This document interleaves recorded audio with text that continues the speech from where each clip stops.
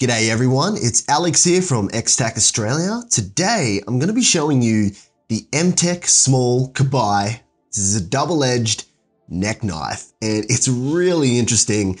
This is essentially a miniaturized combat knife. So it's really different for a neck knife. So I'm just going to put the sheath over here just for now.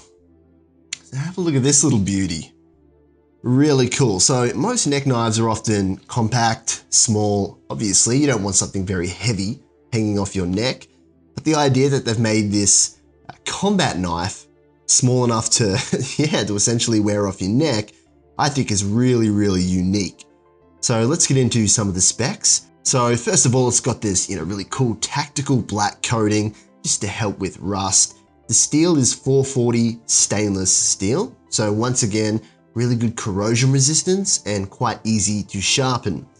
What I also like is that the guard and the pommel at the bottom is also stainless steel as well. This is not, you know, some kind of cheap plastic. This is, uh, yeah, really cool for, for what it is. So it's also got this uh, really cool rubberized handle. So this is just to simply keep the weight uh, down. And I find rubber a little bit more grippy when your hands are, you know, perspirating. So it's something that I, uh, I personally appreciate anyway. Now let's jump onto the sheath really quickly. So this is an awesome little form-fitted plastic sheath and it comes in the OD green to match the handle color as well.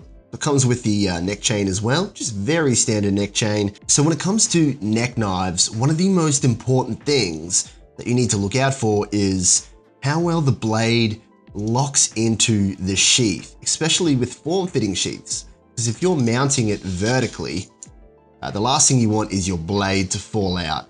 So I'll show you just how well uh, it actually snaps in with this sheath. You can hear a beautiful little click there. And uh, yeah, this thing is just not going to fall out anytime soon. Uh, it's very, very well fitted. And to pop it out, just a little bit of pressure so yeah, gravity is not going to be your enemy when it comes to this sheath in general. And lastly, it's got these rivets, so essentially attachment points. So what you could do is get a little bit of paracord, whatever you want. You can mount it to your belt, to your boot, however you like to do it. Even, even a backpack while you're out as a little backup knife. So what an awesome little concept.